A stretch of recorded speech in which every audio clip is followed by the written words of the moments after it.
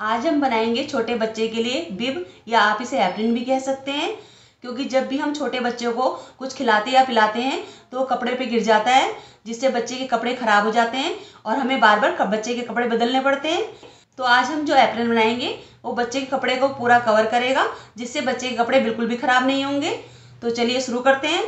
इसके लिए देखिए मैंने सेम साइज़ के दो कपड़े के पीसीस कट किए हैं।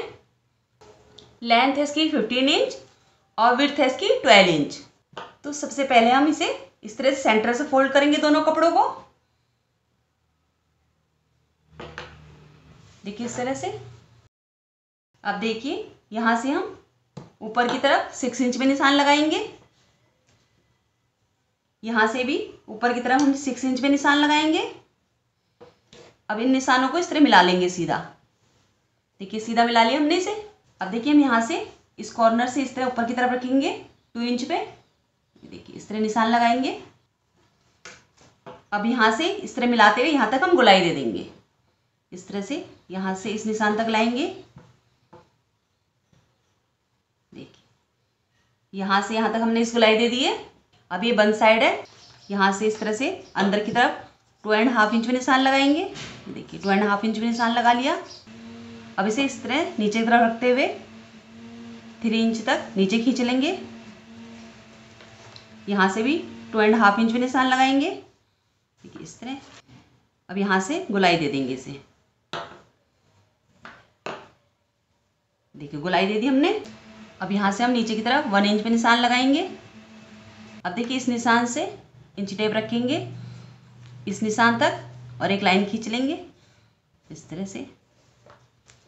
देखिए गले की, यहाँ से गले से इस तरह से यहाँ तक सिक्स इंच है तो इसके सेंटर में निशान लगाएँगे थ्री इंच में ये देखिए, अब इस निशान से इंची टेप को इस तरह रखेंगे थ्री एंड हाफ़ इंच अंदर की तरफ़।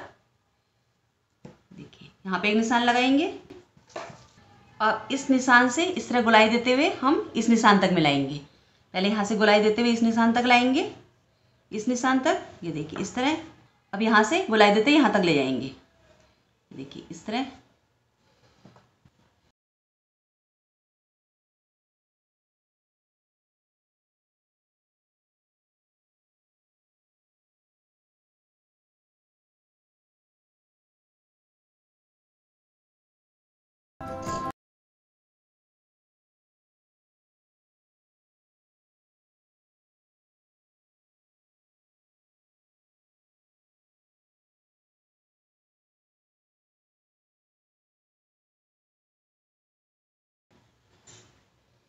ये देखिए, अब इसे एक तरफ़ हटाते हैं।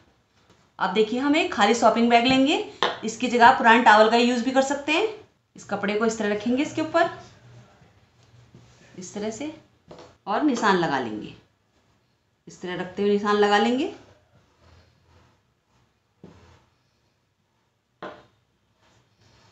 देखिए, निशान हमने लगा लिए। अब इसे अगर हटा देंगे, अब इसे भी कट कर लेंगे।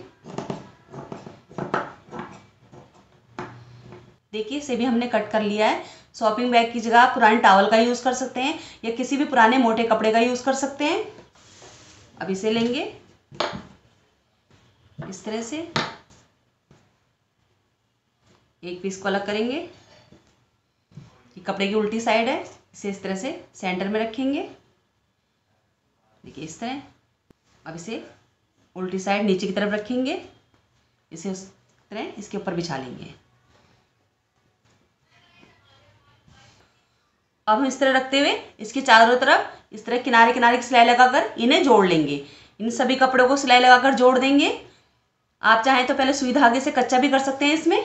देखिए, इसमें हमने चारों तरफ़ से किनारे किनारे सिलाई लगाकर तीनों कपड़ों को आपस में जोड़ लिया है। ये देखिए। अब इसे एक तरफ़ रखेंगे। अब देखिए, दूसरे कपड़े में से मैंने और एक पट्टी कट की है, तिरछी पट्टी, जिससे हम पाइप बनाते हैं। विर्थ है इसकी वन एंड हाफ़ इंच अब इस तरह रखेंगे। इसे लेंगे,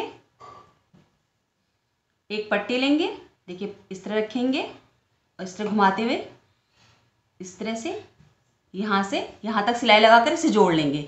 यहाँ से यहाँ तक किनारे किनारे की सिलाई लगाकर इसे जोड़ लेंगे। दूसरी पट्टी लेंगे, इसे भी इस तरह रखेंगे, और इस तरह गुलाई में घुमाते हुए यहाँ से यहाँ तक सिलाई लगाकर इसे भी जोड़ लेंगे। देखिए, पट्टी को इस तरह गुलाई में रखते हुए हमने यहाँ से यहाँ तक सिलाई लगा कर इसे जोड़ लिया है। ये देखिए इस तरह इस तरह भी गुलाई में जोड़ लिया इसे। अब इसे इस तरह पलटेंगे। एक्स्ट्रा पट्टी हम बाद में कट कर लेंगे। इसे इस तरह फोल्ड करेंगे। इस तरह रखेंगे पूरे गुलाई में। देखिए, इस तरह से। इस तरह रखते हुए यहाँ से यहाँ तक सिलाई लगाकर पाइपिंग बना लेंगे और एक्स्ट्रा पट्टी कट कर लेंगे।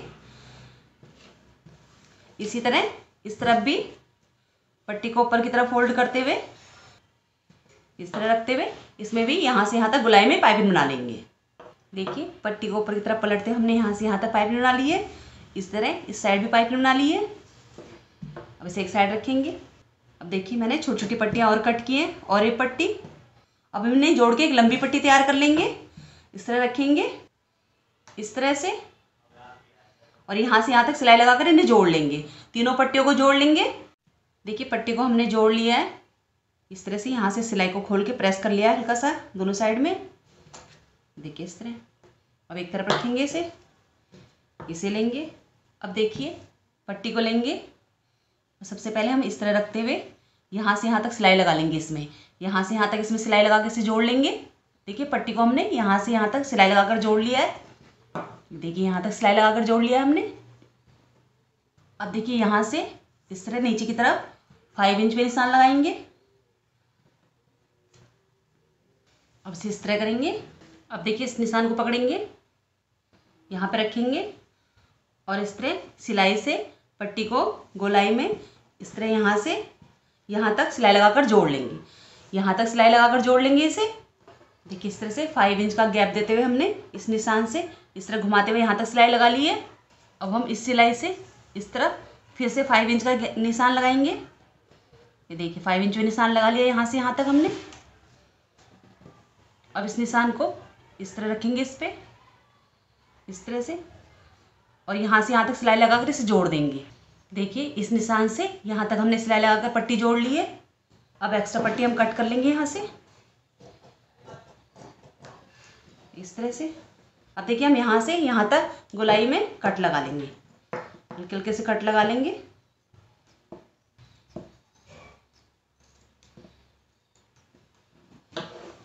अब हम इसे पलटेंगे। इस तरह से।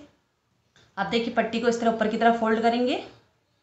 इस तरह से सिलाई लगाते जाएँगे। देखिए यहाँ पे भी पट्टी फोल्ड करेंगे। इस पर भी सिलाई लगाते जाएँगे इस तरह से। देखिए इस तरह। पूरी गुलाई में यहाँ से यहाँ तक पट्टी की पाइप बना लेंगे देखिए, पट्टी को ऊपर की तरफ़ फोल्ड करते हुए हमने यहाँ से यहाँ तक पूरे में सिलाई लगा ली है। देखिए इस तरह से। अब देखिए, एक लंबी पट्टी मैंने और जोड़ लगा कर तैयार की है। अब यहाँ से हम इस तरह से इलेवन इंच पे निशान लगाएँगे। अब इसे लेंगे। देखिए, निशान लगाया हमने। इस तरह से यहाँ रखेंगे। इस तरह गुलाई में घुमाते हुए यहाँ से यहाँ तक सिलाई लगाकर जोड़ लेंगे। देखिए, इस निशान से पट्टी को रखते हुए गुलाई में हमने गले में यहाँ से यहाँ तक जोड़ लिया है सिलाई से और इतनी ही पट्टी हमने यहाँ पे भी छोड़ दी है। अब देखिए, अब हम यहाँ पे हल्के हल्के से गुलाई में कट लगा लेंगे। यहाँ पे गुलाई में कट लगा लेंगे।